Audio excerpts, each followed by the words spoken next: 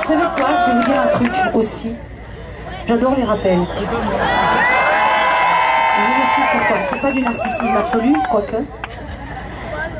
C'est que c'est quand même bizarre ce truc qui consiste pour vous à faire euh, pas semblant de me rappeler et, et pour moi à faire semblant de partir. quoi. C'est- un peu aberrant. Excusez-moi, c'est juste pour faire passer un petit peu le robe avant de chanter. Vous avez un petit peu de temps. En fait, il y a des pays où ils ont cette tradition. Et puis il y a d'autres pays où ils n'ont pas cette tradition.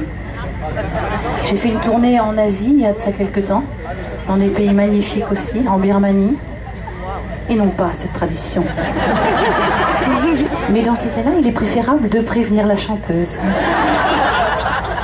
On m'avait pas prévenu.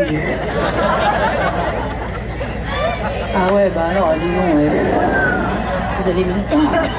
Hein Brigade d'intervention de la beauté. On m'avait pas prévenu. Alors moi, je suis très, très professionnelle. hein. J'ai pris mon micro comme ça. Il n'y a plus personne. Et puis j'ai fait mon, mon rappel, hein, avec, euh, bon, il faisait à peu près 63 degrés, euh, euh, 95% d'humidité. Tout fil, si j'avais J'ai fait mon truc, tout m'a cassé, j'avais appris en birman.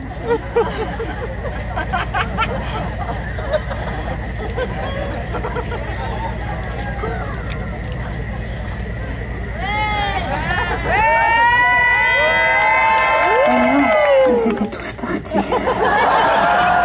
La honte, le cauchemar de chanteuse. Tous. Sauf un, dans un arbre.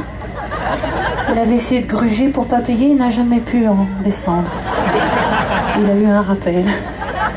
Depuis, je suis tout à fait traumatisée, comme vous pouvez le remarquer, je reste très peu derrière, le temps juste de boire 4 litres de tiponge. Donc je vous remercie de m'aider dans cette euh, thérapie du rappel. Merci d'être resté.